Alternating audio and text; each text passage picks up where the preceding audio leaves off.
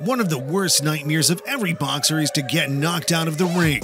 While this could be humiliating for the boxers, it oddly feels satisfying to watch.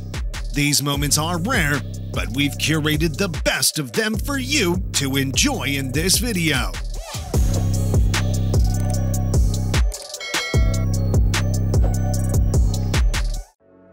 Izu Ugonoh knocked out Will Quarrie with a brutal right hand at the Stadium Southland and Invercargill in 2015. With 42 seconds remaining in the second round, Ugonoh forced Quarrie into the corner where he detonated a brutal right hand that forced the fight to come to an early stop.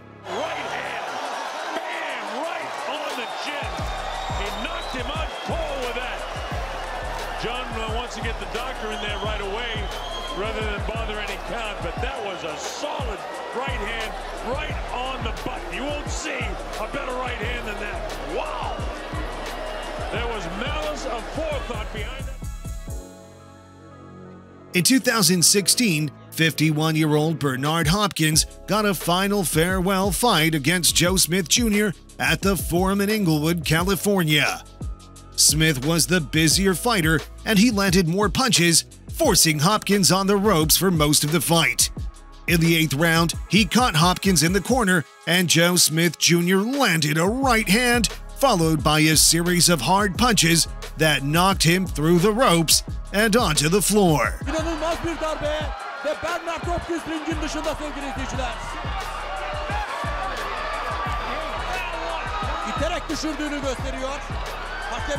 Bernard Hopkins. Bakalım hakem neler söyleyecek. 8'e kadar sayıp içeri girmesi lazım. See how he came back in.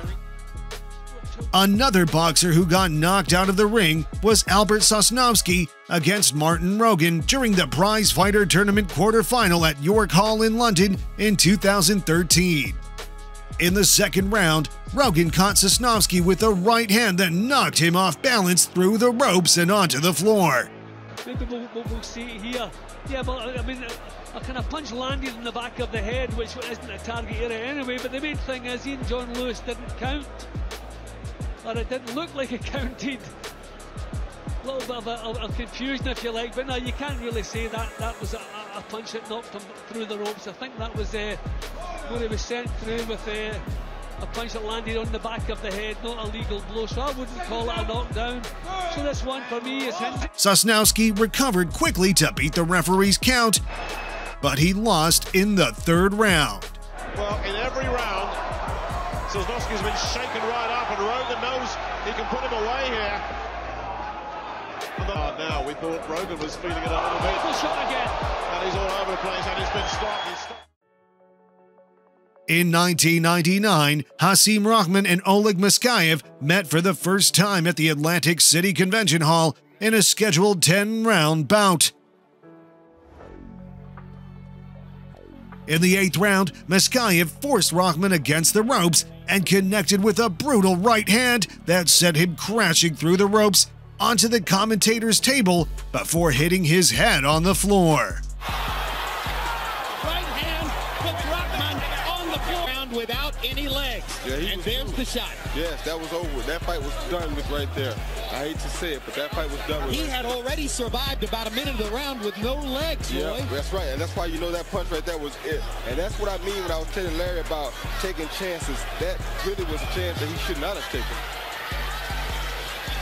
And you see that's that's your reporter leaning in from the top of the screen there, and that's Dr. Dominic Coletta. Give him an opportunity to knock him out, which is what I was saying about the Holyfield Lewis fight. If Lewis can outbox Holyfield and still win, win. Although we want to see fireworks, we'd rather see him fight the smart fight and be a winner. The professional thing Next, we have Amir Imam versus Jared Robinson at the Wolstein Center in Cleveland, Ohio in 2014. Imam connected with a four punch combination that dropped Robinson, and he went head first onto the floor. Robinson quickly got back to his feet and made his way back into the ring to beat the referee's count, but the referee deemed him unfit to continue shortly after. Well, the right hand of Imam is tremendous. tremendous. Yeah, you called it perfectly, Barry. Look at that. Oh, that's a hard fall. And you see the handler there. I think that's uh, Luis Perez, the cut man. And Stacy McKinley jumped on Luis Perez and said, let the fighter be the rule. Looked like it was right on the temple, huh? Yeah. Similar to the 1-2 that uh, Jeremy...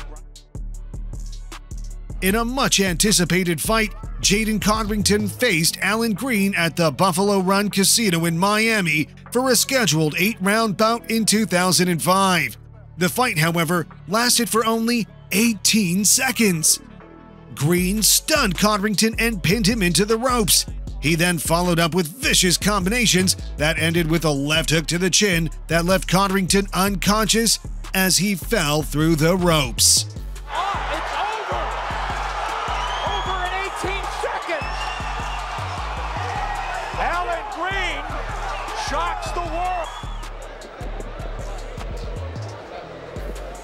Well, Green misses that left hook, but he catches Codrington.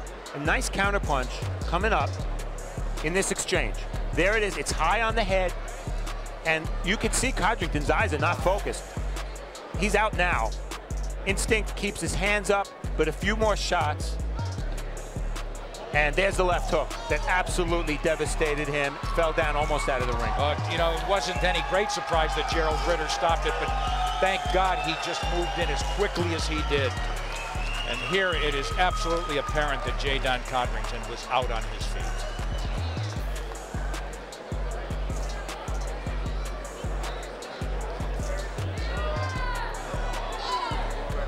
Oh, that last left hook, Nick. Codrington was defenseless. In 2017, David Haye and Tony Bellew met at the O2 Arena in London for the first time to settle their bitter rivalry. Although Haye was the favorite to win the fight, Bellew pulled a massive upset in the 11th round of their bout. Haye was injured in the sixth round, but decided to continue with the fight. Bellew, however, took advantage of it and started dominating the fight.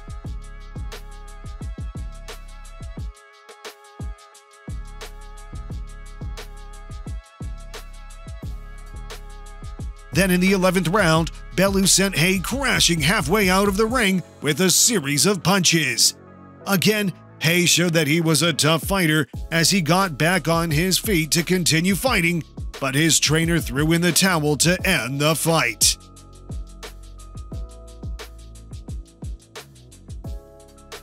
Finally, let's go back to 1951 when the Hall of Famers Rocky Marciano and Joe Louis faced off at the Madison Square Garden.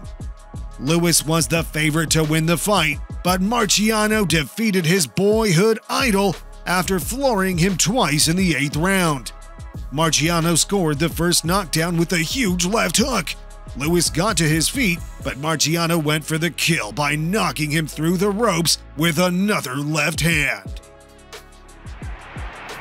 Ready to meet Rocky Marciano comes plowing in. Louis trying to hold on. Back against the ropes goes Louis. A left and a right, and down he goes, and through the ropes on the apron of the ring. It's all over. He can't get up. Helped to his feet now by referee Ruby Goldstein and Dr. Vincent Nardiello, the Gordon's ringside physician, and all of Joe's handlers are looking after the former champion now. But apart from the daze he's in, Joe is okay. Those final punches of Marciano simply did him in. It's been a fight that ends, in a sense, with overtones of sadness, for this is the end of an era. Joe Louis has come to the close of a glorious ring. That's all for today's video. We hope you enjoyed it. If you like this video, give it a thumbs up. And don't forget to tell us about your favorite knockout in the comments section below. See you in the next video with some interesting content. Until then, stay tuned.